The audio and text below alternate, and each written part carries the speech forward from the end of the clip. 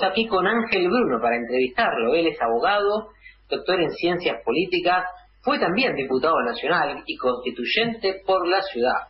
Es vicepresidente, o fue vicepresidente, ¿no?, del Colegio Público de Abogados y de FACA, Federación Argentina de Colegios de Abogados.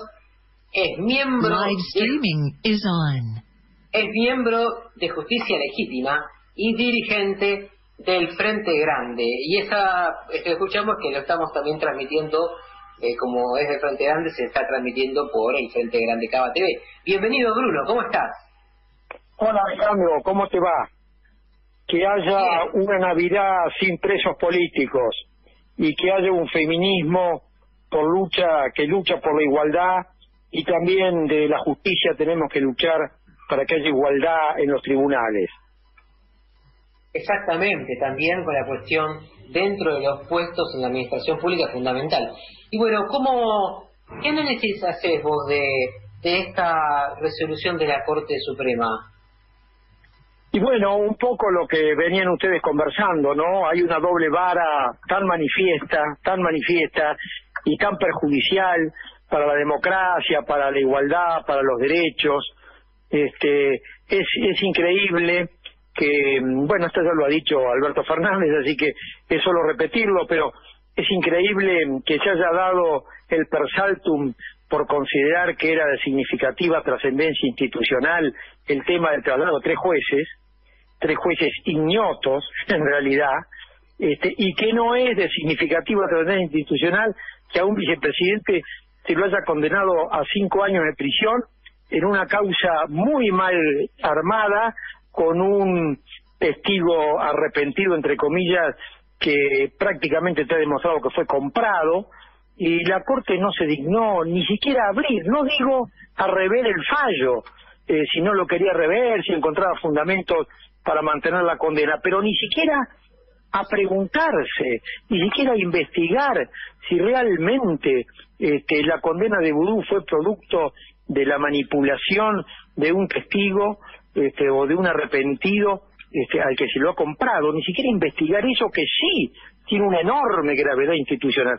Así que hay una doble vara increíble, este, no es nuevo, no es novedad, el Poder Judicial verdaderamente hoy en día es este, eh, un defensor de los intereses de los poderosos, esta es la verdad, ¿no?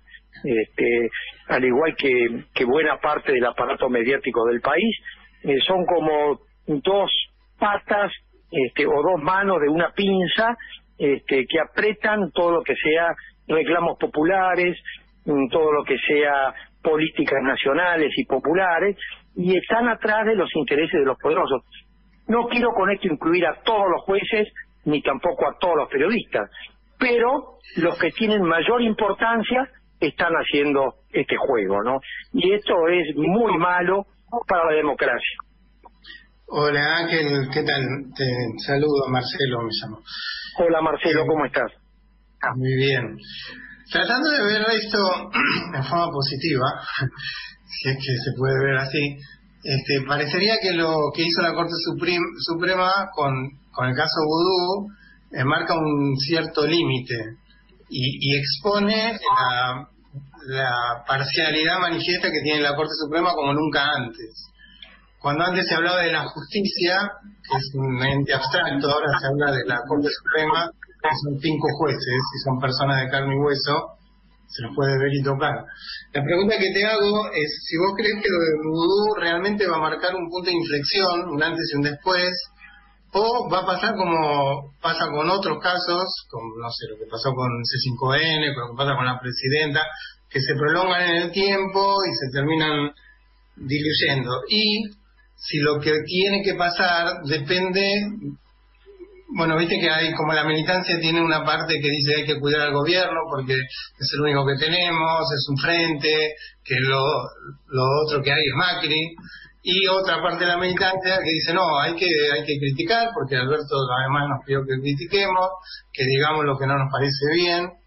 Este, entonces, vos, ¿cuál de las dos opciones pensás, no? Si, si primero si Vudú es un punto de inflexión, a un antes y un después, y si y cuál es la actitud que, que hay que tener frente al gobierno, si hay que reclamar, porque digamos, hay como un reclamo de que hay cierta pasividad en, los casos de la justicia y 50 eh, presos políticos, 800 eh, causas penales abiertas. Claro. Te entiendo perfectamente y, este, y comprendo la pregunta y te digo esto. Eh, no creo que sea un punto de inflexión lo de Vudú, lamentablemente, porque ha habido causas muy graves, este, y además porque lo de Vudú está muy silenciado por los grandes medios y no hay una una suficiente reacción popular, no hay una toma de calle, no hay un dos por uno, ¿eh? para para para marcar una cosa no hay una movilización como el 2 por 1 que hizo tambalear a la Corte y la hizo dar vuelta inmediatamente, este, con un Congreso que inmediatamente sacó una ley, etcétera. No veo una reacción similar en este caso, así que no, no, no me parece que sea un punto de inflexión, más allá que pone a cara descubierta el accionar ¿no? de, de la Corte, de los poderosos del sistema judicial. Por supuesto, no de la justicia, la justicia es otra cosa mucho más importante, mucho más sustantiva, que no está solo en la mano de los jueces, está también en el poder de un poder ejecutivo redistribuidor de la riqueza, eh, la justicia distributiva, así que la justicia es otra cosa, pero el poder judicial que hoy sufre la República Argentina tiene en sus más eh, altas autoridades este, un desprecio generalizado por este, el cumplimiento de las normas eh, legales. Así que no creo que este caso de vudú eh, sea un punto de inflexión, lamentablemente. Este, hoy ha salido un fallo de la Cámara Federal de Mar del Plata, donde si bien lo condenan, o mejor dicho, confirman el procesamiento de Stornelli en un par de causas, este, lo sobreseen en otras cuatro, y también lo sobreseen al periodista Daniel Santoro. Este, así que bueno, cuando cuando el, la instrucción llevada adelante por el juez Ramos Padilla fue impecable, impecable, y las culpabilidades quedaban claramente demostradas. Así que no creo que esto sea un punto de inflexión, me parece, como decía Cristina en su carta el otro día, el lawfare sigue vivito y coleando, eh, y con respecto a la segunda pregunta que tiene también que ver con esto, me parece que este que en este tema no hay indecisos eh, o militancia que quiere cuidarlo Alberto y, y grupos que quieren salir más a la calle. Me parece que Alberto ha salido con todo también. ¿eh?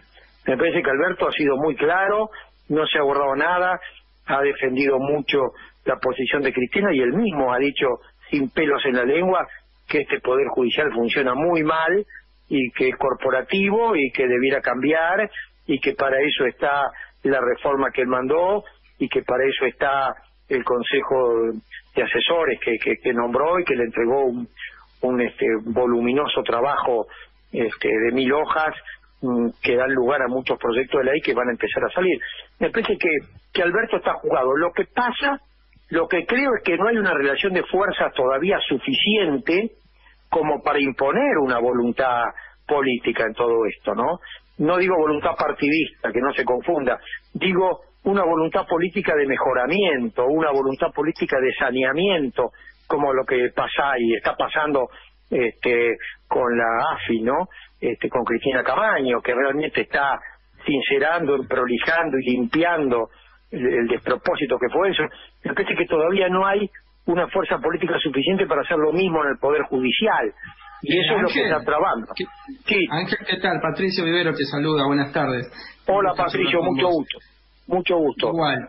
Eh, te, quiero preguntar, bueno, eh, lo que estabas describiendo son los últimos hechos eh, políticos, ¿no? la carta de Cristina, todas las, todos los medios tradicionales eh, em, presionando y alimentando la, posibilidad de una ruptura en el vínculo entre el presidente y la vicepresidenta. Finalmente, Cristina eh, escribe nuevamente una carta y eh, luego de eso se, se consuma el acto público donde aparecen tanto el presidente como la vicepresidenta juntos, dando un mensaje claro en dirección a lo que escribió la, la presidenta Mandate Cumplido en su carta criticando al Poder Judicial. Mi pregunta es la siguiente, ¿no? coincidiendo con vos en que pareciera que se encolumna el gobierno eh, en dirección de, ir por, por esa deuda de la democracia.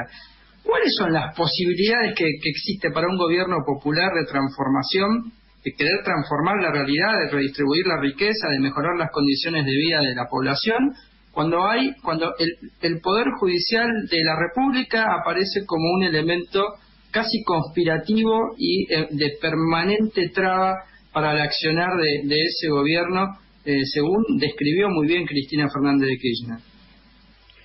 Sí, es, este, es dramática esa situación y es terrible. Eh, es terrible porque ya lo vivimos, incluso durante el gobierno de Cristina, ¿no? Cómo trabaron la ley de medios, por poner un solo ejemplo, cómo trabaron la reforma judicial que quiso hacer Cristina en aquel momento y nada se pudo concretar. Este, cómo durmió este, este, tranquilamente la Corte cuando el país se endeudaba escandalosamente. En fin, este, hay mil ejemplos. Eh, es muy difícil en democracia eh, cambiar las cosas en otro poder eh, que es autónomo si no tenés una mayoría legislativa que te acompañe. Este es el único el único problema que hay. Si al frente de todos eh, tuviera 10 votos más de lo que tiene la Cámara de Diputados, todo sería absolutamente distinto. Todo sería absolutamente distinto. No. no lo tiene, no lo tiene. Ahora, tiene algunos elementos, tiene algunos elementos que costarían mucho trabajo, eh, pero bueno, por ejemplo, aumentar el miembro de la de el miembro de número el número de miembros de la corte es una cosa que no se requieren mayorías especiales se requiere simplemente mayoría simple. A lo mejor, este, con un buen trabajo con los aliados en diputados, se puede conseguir esa esa modificación y con el aumento de, miembros del número de la Corte cambiar la mayoría y, pasar a que fuera más lógico el proceder del Poder Judicial. No es lo que quiere Alberto, no es lo mejor, pero muchas otras salidas no le veo. No le veo, por ejemplo, como salida el juicio político. Entonces, no tiene la menor posibilidad de salir un juicio político que se necesitan dos terceras partes este, de las dos cámaras. No, no, no creo que eso pueda salir. Eh, tampoco puede operar manu militari, obviamente. Eh, así que este, por el momento lo único que se me ocurre pensar es explorar la posibilidad de aumentar miembros de la Corte. Ahora, hemos sido nosotros tan críticos con el aumento del miembro de la Corte, hemos criticado tanto al menemismo con que hizo el, el aumento para tener una, una, una mayoría automática. Alberto tantas veces ha dicho que eso no le gusta, que es difícil que ahora de vuelta a su pensamiento, pero me parece que otro camino no queda más que este hoy por hoy. También, Bruno, consideremos que han cambiado las circunstancias desde, la, desde donde se dice cada una de esas cosas.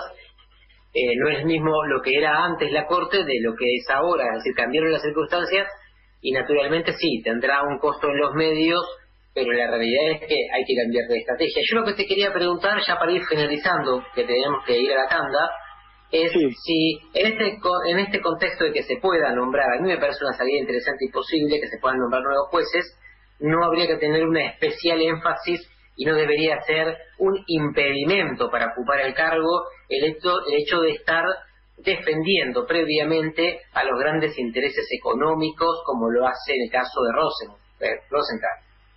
Claro. Sí, eso, eso sería bueno.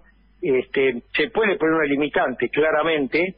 Ahí se necesitaría simplemente una ley por mayoría simple que ponga limitantes tanto para el proceso de un juez común que lo designa el Consejo de la Magistratura, cuanto un juez de la Corte Suprema que lo designa el Poder Ejecutivo con acuerdo del Senado. En ambos casos se puede poner como limitante que excluya del concurso a ese tipo de, de abogados o de jueces, ¿no? Claramente. Bueno, Bruno, te agradecemos mucho, como siempre, eh, ilustrándonos. La verdad que nos has eh, hecho unos comentarios interesantes y bueno, sabemos que es posible, aunque políticamente traiga un costo, es posible aumentar la corte, es jurídicamente posible y, más realizable este, para que realmente gente que sea más proba, más fiel a, la legalidad, a los eh, principios republicanos pueda ocupar esos lugares. Te damos un abrazo y, muchas gracias como siempre. Bueno, muchísimas gracias a ustedes, un abrazo a todos y que terminen bien el día. Gracias. Gracias igualmente. Hablamos con Ángel Bruno, es abogado, doctor en ciencias políticas, fue diputado nacional, constituyente por la Ciudad de Buenos Aires, vicepresidente del Colegio Público de Abogados y miembro de Justicia y, eh, y de FACA y miembro de Justicia Legítima, dirigente del Frente Grande